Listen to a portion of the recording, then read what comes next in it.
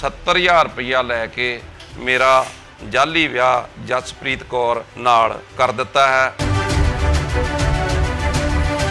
ਧੋਖਾਧੜੀ ਤੇ ਠੱਗੀ ਮਾਰਨ ਦੇ ਮਾਮਲੇ ਕਈ ਵਾਰ ਸਾਹਮਣੇ ਆਉਂਦੇ ਰਹਿੰਦੇ ਨੇ। ਇਸੇ ਤਰ੍ਹਾਂ ਦਾ ਫਿਰੋਜ਼ਪੁਰ ਦੇ ਵਿਧਾਨ ਸਭਾ ਹਲਕਾ ਜ਼ੀਰਾ ਦੇ ਕਸਬਾ ਮਖੂ ਵਿੱਚ ਫਰਜ਼ੀ ਵਿਆਹ ਕਰਾ ਕੇ ਕਰੀਬ 1 ਲੱਖ ਰੁਪਏ ਦੀ ਠੱਗੀ ਮਾਰਨ ਅਤੇ ਘਰ ਵਿੱਚੋਂ ਸੋਨਾ ਲੈ ਕੇ ਫਰਾਰ ਹੋਣ ਵਾਲੇ ਗਿਰੋਹ ਦਾ ਭਾਂਡਾ ਫੋੜ ਕਰਦੇ ਹੋਏ ਪੁਲਿਸ ਵੱਲੋਂ ਕਾਰਵਾਈ ਕੀਤੀ ਗਈ ਹੈ। ਜਾਣਕਾਰੀ ਦਿੰਦੇ ਇੰਸਪੈਕਟਰ ਪ੍ਰਭਜੀਤ ਸਿੰਘ ਨੇ ਦੱਸਿਆ ਕਿ ਥਾਣਾ ਮਖੂ ਦੀ ਪੁਲਿਸ ਨੇ ਤਿੰਨ ਬਾਏ ਨੇਮ ਲੋਕਾਂ ਸਮੇਤ ਪੰਜ ਹੋਰ ਨਾਮਜ਼ਦ ਵਿਅਕਤੀਆਂ ਖਿਲਾਫ 495 496 419 420 403 380 120 ਬੀ ਆਈਪੀਸੀ ਤਹਿਤ ਮਾਮਲਾ ਦਰਜ ਕੀਤਾ ਹੈ। ਪੁਲਿਸ ਨੂੰ ਦਿੱਤੇ ਬਿਆਨਾਂ ਵਿੱਚ ਕੁਲਵੰਤ ਸਿੰਘ, ਪੁੱਤਰ ਚਰਨਜੀਤ ਸਿੰਘ ਵਾਸੀ, ਪਿੰਡ ਸਹਿਣਾ, ਜ਼ਿਲ੍ਹਾ ਬਰਨਾਲਾ ਨੇ ਦੱਸਿਆ ਕਿ ਮਿਤੀ 7 ਸਤੰਬਰ 2021 ਨੂੰ ਦੋਸ਼ੀਆਂ ਜਸਪ੍ਰੀਤ ਕੌਰ, ਪੁੱਤਰੀ ਪਰਮਜੀਤ ਸਿੰਘ, ਰਣਜੀਤ ਕੌਰ, ਪਤਨੀ ਪਰਮਜੀਤ ਸਿੰਘ, ਗੁਰਵੇਲ ਸਿੰਘ ਅਤੇ ਪੰਜ ਹੋਰ ਨਾਮਜ਼ਦ ਵਿਅਕਤੀਆਂ ਵੱਲੋਂ ਉਸ ਨੂੰ ਜਸਪ੍ਰੀਤ ਕੌਰ ਵਿਆਹ ਲਈ ਦਿਖਾਈ ਗਈ ਤੇ 8 ਸਤੰਬਰ 2021 ਨੂੰ ਦੋਹਾਂ ਧਿਰਾਂ ਵੱਲੋਂ ਗੁਰਦੁਆਰਾ ਬਾਬਾ ਜੱਸਾ ਸਿੰਘ ਬਸਤੀ ਬੂਟੇਵਾਲੀ ਥਾਣਾ ਸਦਰ ਜ਼ੀਰਾ 'ਚ ਆਨੰਦ ਕਾਰਜ ਕਰਾਏ ਗਏ। ਅਗਲੇ ਦਿਨ ਪਤਾ ਲੱਗਾ ਕਿ ਦੋਸ਼ੀਆਂ ਨੇ ਸਾਜ਼ਿਸ਼ ਰਚ ਕੇ ਉਸ ਦਾ ਜਸਪ੍ਰੀਤ ਕੌਰ ਨਾਲ ਫਰਜ਼ੀ ਵਿਆਹ ਕਰਾ ਕੇ ਕਰੀਬ 1 ਲੱਖ ਰੁਪਏ ਦੀ ਠੱਗੀ ਮਾਰੀ ਹੈ। ਇਸ ਤੇ ਅਲੱਗ-ਅਲੱਗ ਧਾਰਾਵਾਂ ਤਹਿਤ ਮਾਮਲਾ ਦਰਜ ਕਰਕੇ ਪੁਲਿਸ ਵੱਲੋਂ ਕਾਰਵਾਈ ਕੀਤੀ ਜਾ ਰਹੀ ਹੈ। ਮਿਤੀ 15/9/21 ਨੂੰ ਮੈਂ ਆਪਣੇ ਦਫ਼ਤਰ ਹਾਜ਼ਰ ਸੀ ਕਿ ਉਸ ਦਿਨ ਕੁਲਵੰਤ ਸਿੰਘ, ਪੁੱਤਰ ਚਰਨਜੀਤ ਸਿੰਘ, ਵਾਸੀ ਮਹਿਣਾ, ਜ਼ਿਲ੍ਹਾ ਬਰਨਾਲਾ ਨੇ ਮੈਨੂੰ ਹਾਜ਼ਰ ਥਾਣਾ ਆ ਕੇ ਦੱਸਿਆ ਕਿ ਉਸ ਨਾਲ ਲੁੱਟ ਹੋ ਗਈ ਹੈ। ਉਸ ਦੀ ਭੂਆ ਹਰਪ੍ਰੀਤ ਕੌਰ, ਪਤਨੀ ਹਰਿੰਦਰ ਸਿੰਘ ਉਸ ਦੀ ਵਿਚੋਲੀ ਸੀ।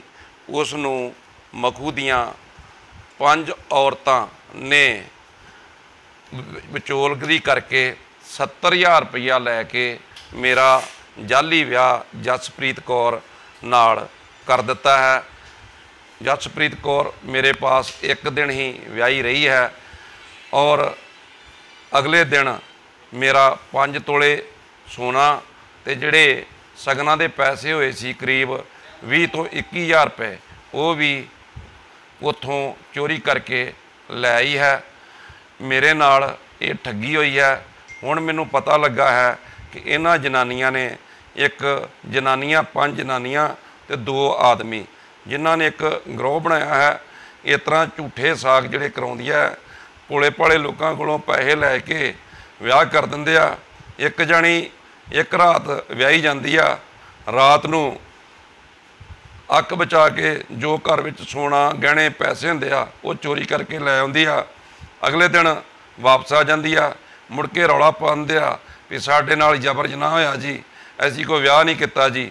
ਇਸ ਜਸਪ੍ਰੀਤ ਕੌਰ ਵੀ ਏਡੀ ਜ਼ਿਆਦਾ ਚਲਾਕ ਹੈ ਇਹ ਗੱਲ ਦੱਸਣ ਜੋਗਾ ਕਿ ਕੁਲਵੰਤ ਸਿੰਘ ਮੰਦਈ ਅਜੇ ਸਾਡੇ ਪਾਸ ਦਰਖਾਸਤ ਹੀ ਦੇ ਰਿਹਾ ਸੀ ਕਿ ਉਹਨੇ ਚਿਰ ਨੂੰ ਮੈਨੂੰ ਮਾਨਯੋਗ ਡੀਐਸਪੀ ਸਾਹਿਬ ਦਾ ਟੈਲੀਫੋਨ ਆ ਗਿਆ ਕਿ ਤੁਹਾਡੇ ਕੋਈ ਰੇਪ ਹੋਇਆ ਹੈ।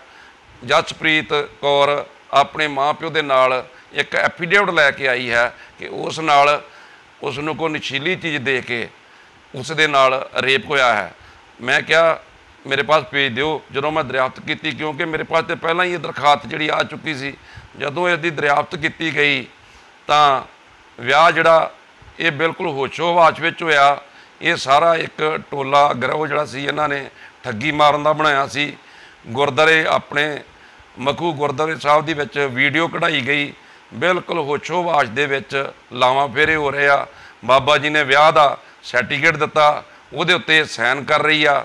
ਵਿਚੋਲੀਆਂ, ਉੱਥੇ ਹੋਰ ਵੀ ਇਹਦੇ ਵੱਲੋਂ ਜਿਹੜੇ ਜਾਲੀ ਭਰਾ ਬਣਾਇਆ, ਜਾਲੀ ਪਿਓ ਬਣਾਇਆ, ਉਹ ਸਾਰੇ ਮੌਜੂਦ ਆ।